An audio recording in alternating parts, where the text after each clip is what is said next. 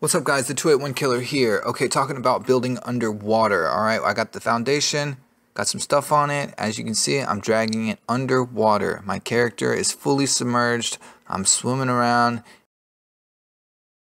Okay, and as you can see, I can still pick up this foundation. Um, a lot of people think that once you build on water, it's stuck, but it's only stuck in shallow water. If your character can fully submerge, you are able to pull out the object. So what that means is, you're thinking like, okay, add some walls, pull a building down there. You're not going to be able to do that. I'll go ahead and put the myth to rest right here. Boom, grab a wall. And as you know, real builders know you can't do that. Okay?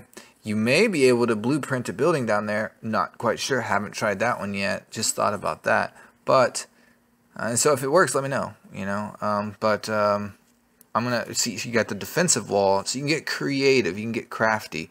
Um, this one right here seems like it works.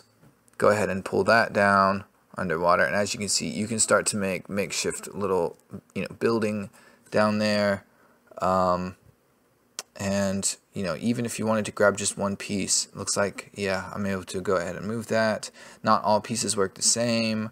Like I'll show you this one here. It's not gonna let me adjust it underwater which means I'll need to pull the whole thing back out and then go ahead and make changes and then bring it back down underwater. Um, but some pieces like that one are able to. So it's um, a bit of an experiment this and that um, power works the same way. Everything works works pretty much the same way. You can build it out of water and then take it underwater. Um, the other cool thing that you can do to just uh, save, you know, give you four walls and a roof is to just um, go ahead and get one of those pre-made structures. You go ahead and grab those. You got four walls and a roof. Uh, if you find the available space, go ahead and drop it underneath the water. I don't know why this was not working. Something's going on. Oh, the boat above me is getting in the way. Okay, so, uh, uh, uh, and find a spot. What? Are those liberators underneath the water? Okay, okay.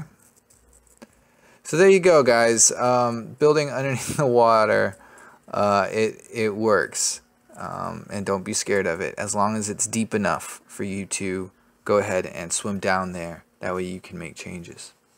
Right